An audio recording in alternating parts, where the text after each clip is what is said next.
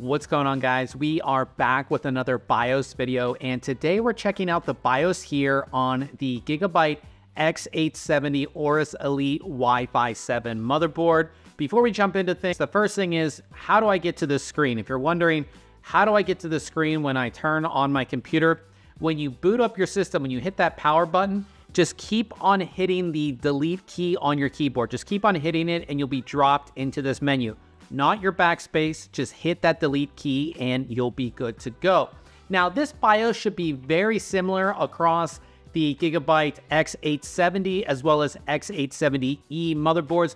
Obviously, depending on which board you have, some of your options may be a little bit different, but the overall layout should be the same.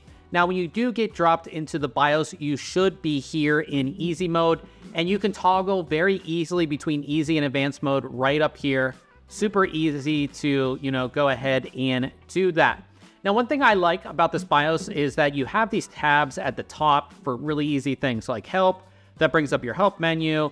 You can switch your language. You can load defaults, save and exit. You have your favorites menu and then you can also search. That's one thing that's really nice. If you can't, if you don't know where a certain setting is, you can just search right in the BIOS, which is great. Over here, we have all of our information, so we can see what motherboard we're running, what version of the BIOS we're running, the CPU, RAM, and our version, our AGESA version. So you want to make sure that you have the latest version, of course, with patches and everything like that. So you have that there as well. Over here, we have some real-time stats, our CPU frequency, memory frequency, system temperature, CPU temperature, and CPU voltage. Come down here, this is all, you know, everything for your memory. So you can see how much memory you have installed and everything like that. You can enable or disable the DDR5 auto booster. And then this is where you can easily enable your XMP or Expo profile. So this has uh, an XMP profile on it we can enable it and we're good to go. Really easy to do that. Over here, we have some quick access as well. So we can have quick access to QFlash, which allows you to easily flash your BIOS. We have, you know, we click this, get right into our SPD info, and then STB, SPD setup, we can go into there very easily as well. And then the other things like resizable bar support, that's enabled by default, but if you want to disable or enable it right here, CSM support, preferred op operating mode, it's set to auto, but you can do easy mode or advanced mode. So say you always want to jump into the advanced mode as soon as you go into the BIOS, you could just set that to advanced mode if you want. Fast boot, you can enable or disable that. And then the multi-theme Aorus, Aorus Bright or Aorus or Grayscale. So you can pick like the theme of this BIOS if you want, and then you can enable or disable ERP. In the middle here, we have our fans that are connected. So our CPU fan, that's the only thing we have connected here. You can see that it's running in the, the actual speed in real time. You can also jump right into SmartFan 6, which is a nice graphical interface showing you all of your fan headers, all of your pump headers. You can control them individually. You can set your own curves. You can set, you know, normal, silent, manual, full speed auto on every header on the board, which is nice. And then you can see all of your temperatures and everything like that in real well. Really easy to go ahead and do this in the bio, so I like that.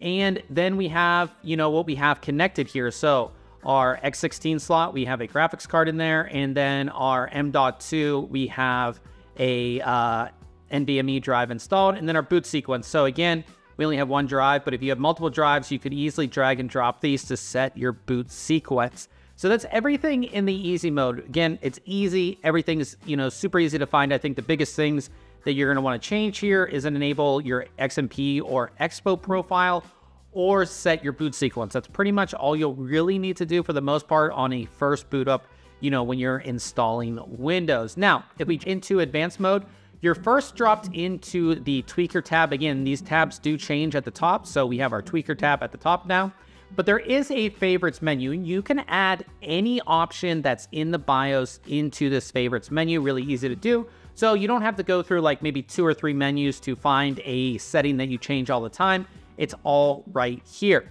Now, Tweaker is where you're going to do all of your tweaking. All of your system tuning is done here. I'm not going to go over all of these settings, but it's really easy to see what does what and everything here is on this page. So you have like CPU clock control, your ratios, everything like that. You can go into advanced CPU settings. But one thing I noticed in this tweaker menu is that typically when you're going through menus, let me just go here. Say I go to this IO ports menu. If I hit escape on my keyboard, oh, no, doesn't do it. So it's in a lot of these menus where you can't go back. It's really weird. So if I go to advanced CPU settings, I hit escape, I can't go back to the previous menu. It wants me to save. I have to hit this, then hit this, and now I'm back. Um, that's one issue with this BIOS, which I'm not the biggest fan of. I'm not sure why it does that. But if you go into like sub menus, you can't go back sometimes. If you hit escape, it just wants you to save. So not the biggest fan of that. But again, all of your settings here, again, your XMP and Expo profiles are here. You can go into advanced memory settings and you can go into all of your sub timings here. Let's see if we hit escape. So we can hit escape there and go back. Your SPD info, same thing as we shown before. And ST, SPD setup, same thing as we did show before as well. Um, go out, see now it's not letting me go back. So I've hit settings and then go to tweaker again. Uh, your voltages are all in this menu as well. So your VCore, all of your DDR voltages, everything is right here. You can also go into advanced, advanced voltage settings in here and change things and your VDDG, VDDG voltage control in here as well. So you can set all of that. And again, I can't go all the way back for some reason. So I have to hit settings and then go back to tweaker. And then you can do your CPU VRM settings and this is your load line calibration. And it's kind of nice that they show you the scaling over here on the side. And again, you can set your load line calibration really easily just by double clicking and change it if you are doing overclocking and you wanted to change it, you can easily do that. Let's try to hit escape and see if we can go back, and we cannot. Again, that's the issue with this BIOS. So we did settings and then go back to tweaker. Now we're back to the menu, but that's everything in the tweaker menu. Really easy to have, you know, have everything here on this one page. I just wish when we went into submenus, we could just hit escape and go back. We, we can't for some reason. Now we go into settings. That's everything else that's on the board. So platform power, again, just power related settings, resu resume on alarm and everything like that. Can we go back? No, we cannot go back. So we have to go over here and go over here and then we're back to the main menu again. IO ports. So this is everything again that's on the board. So you can enable or disable integrated graphics, the audio controller, uh, on the X16 slot, you could set that up if you need to. Uh, resizable bar support, uh, discrete USB 4 features. So this is everything to do with USB 4 and the different features. Now see if we can hit escape and go back. Oh, we can on now.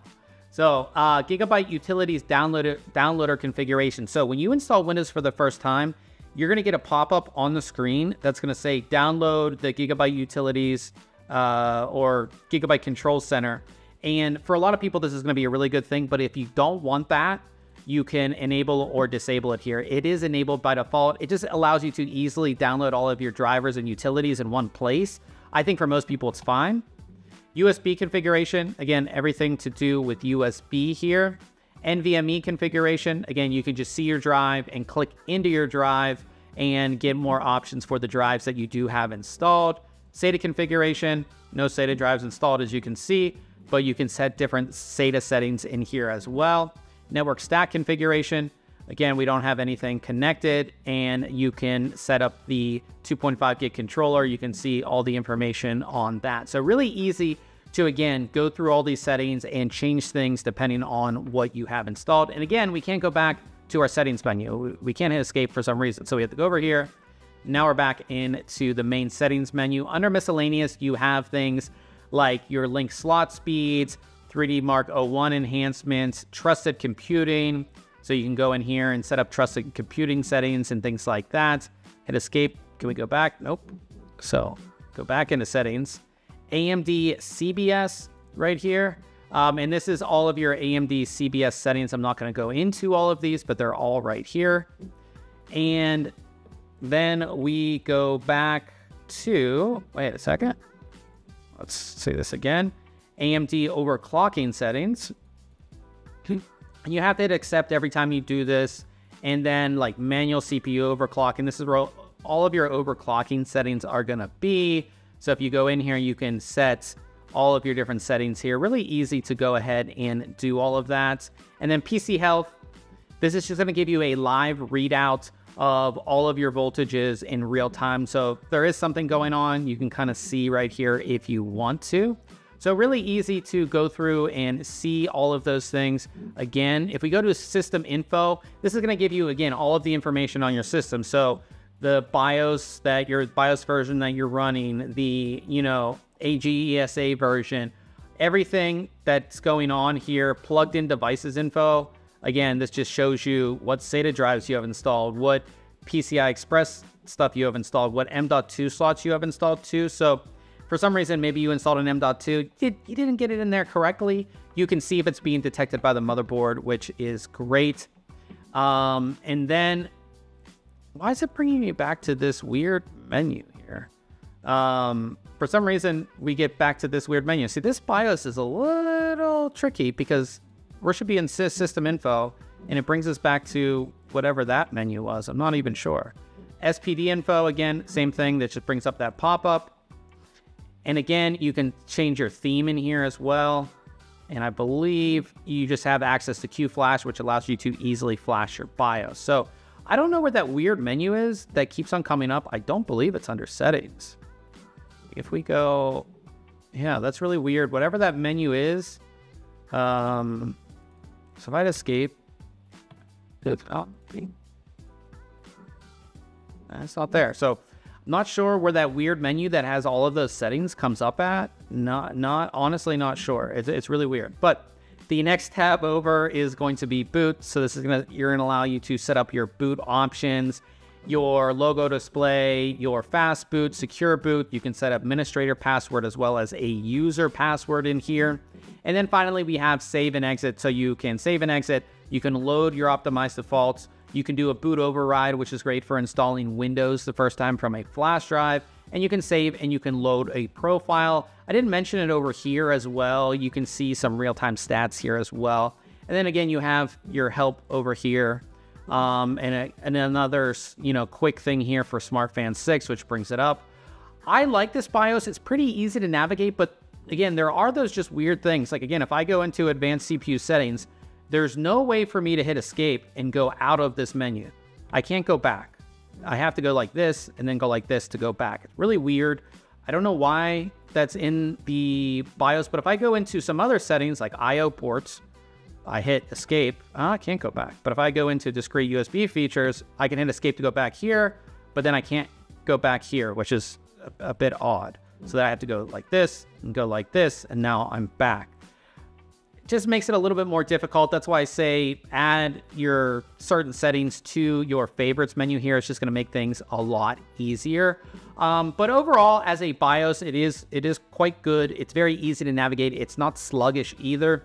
Uh, our mouse tracking speed is fine as well, so it's not like super sluggish or anything like that. So if you do have any questions about this BIOS or any other Gigabyte X870 or X870E BIOS, definitely leave a comment below and I'll try to help you out. But if you did enjoy this video, I would appreciate it if you hit the thumbs up and we'll see you guys in the next video.